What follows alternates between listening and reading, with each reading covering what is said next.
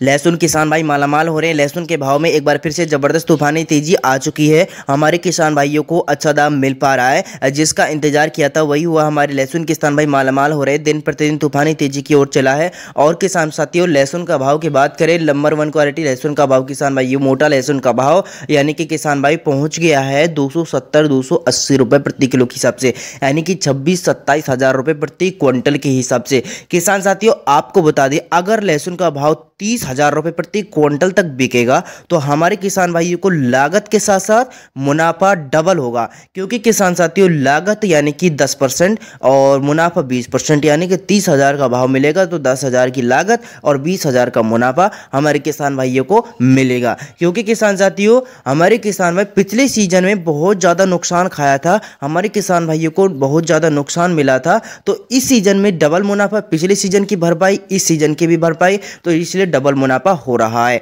किसान भाइयों, अगर हमारी वीडियो आपको अच्छी लगे तो लाइक ज़रूर से ज़रूर करेगा और चैनल को सब्सक्राइब कर लीजिएगा। किसान साथियों, और आपको बता दी, थोड़ी दिन बाद लहसुन का भाव और बढ़ेगा। निंदौर मंडी मंदसौर मंडी और रतला मंडी, सभी मंडियों के औसतन मूल्य की बात करें एवरेज की बात करें तो किसान साथी पच्चीस प्रति क्विंटल से लेकर तीस प्रति क्विंटल के बीच में है और किसान भाई बढ़ने के कगार पर पहुँचने वाला है। वीडियो में इतने मिलता है अगले वीडियो के साथ अब तक के लिए जय जवान, जय